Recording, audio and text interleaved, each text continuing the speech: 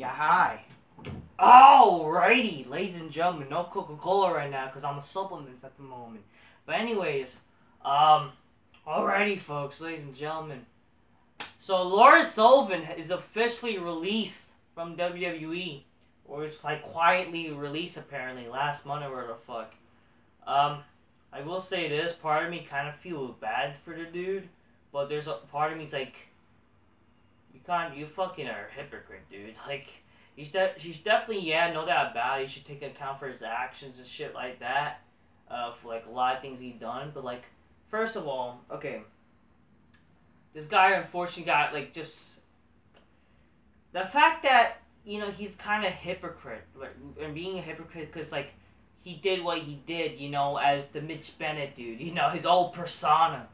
Um, when he was the Mitch Bennett person, when he was like, you know, in those tapes I don't know. I want to build to that anticipation talking about it, but yeah, like uh, that's what makes me like not give a shit, whatever. But anyway, so okay, so Lars Sullivan. People are saying that this guy could have been some big monster heel. You know what I mean? He was laid out as the big monster heel. He debuted on Raw, attacked Kurt Angle after he lost his match. So definitely a waste of a Kurt Angle appearance after the night. You know what I mean? Definitely a darn fucking shame. He destroyed the Hardys and shit like that. He had a few with the Lucha Brothers and shit like that. And then he gets fucking injured. Then also not only that, getting about about his his um his past came uh came into the way his past of uh, like racist comments. First of all, the fact that WWE like fined him for just his past is retarded. It's not like he, he was in the company doing that shit. So why would he get punished for something he did in the past? And if anything, how is it really racist calling just talking about KFC relating to the black people and shit like that. If anything, those are jokes. You know what I mean? So that's something I would feel bad for. And like just basically making Mexican jokes and shit like that. You know what I mean? And even homophobic jokes is funny. But definitely he's a hypocrite. Um, doesn't help the fact that they found his gay pornos. Thankfully, I don't watch that shit, but like I don't give a fu- I don't care about that because I'm not though, really not though. But definitely, like you know, him being a hypocrite, and it definitely gives people a bad name for people making fucking fun of fucking homos and shit like that. And then he goes on to do fucking gay porn as this Mitch Bennett persona. Then he came back recently and then fucking destroy some jobbers, I guess. He even beat a party again. And then it's all a waste. You know what I mean? He says, I don't like bullies and shit like that. And then fucking. He's gone. He's fucking gone. Um. Oh yeah, he was also originally gonna be slated to fucking appear. He was gonna fucking originally face John Cena at WrestleMania 35 for fuck's sake, which that would have been dumb. Thankfully, that didn't happen.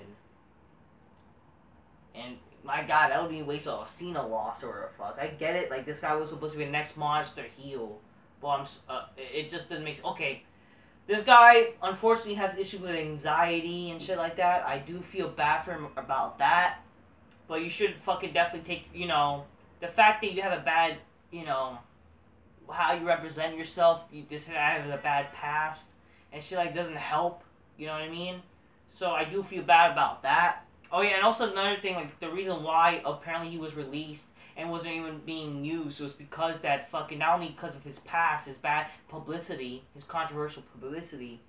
Not only that, is also because like he was he didn't want to overshadow Vince didn't want him to overshadow Roman Reigns because he could have been the next monster heel. He wanted Reigns to be the next monster heel. That makes no sense. But anyways, like I'm like let's be honest here. It would his past already ruined him. So like, what's the point even having him? Honestly, because not only just his bad racist comments and shit like that. Just him gay porn it ruined them. I'm sorry. You're supposed wrestlers supposed to be men, masculine men and shit. And when they're doing gay fucking shit, that's that's fucking shit. Okay. Um. But yeah, like I do feel bad that he has anxiety issues and shit like that, but like, come on, like you had a bad past, it didn't help anything, and also the fact that um, I, I guess another he's like saying now he's done with wrestling. He basically put out something like, "Oh, he's done with wrestling and shit like that." He did like his anxiety got the best of him. His his controversial past, and also like now dealing with a loss of his family. He lost his father last year.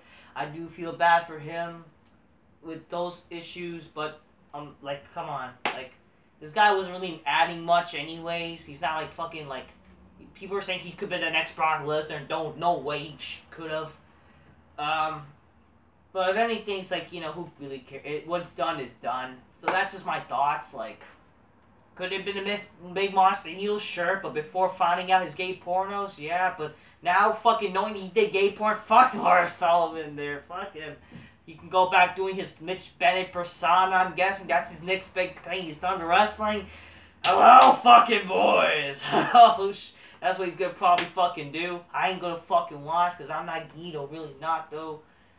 But for some wrestling fan, because a lot of wrestling fans now are fucking gay and shit like that. There's a lot of wrestlers themselves are gay. Like, hey Lars, you can fucking start with those gay wrestlers. You can start Ricochet, finger his ass and shit like that. I don't fucking know.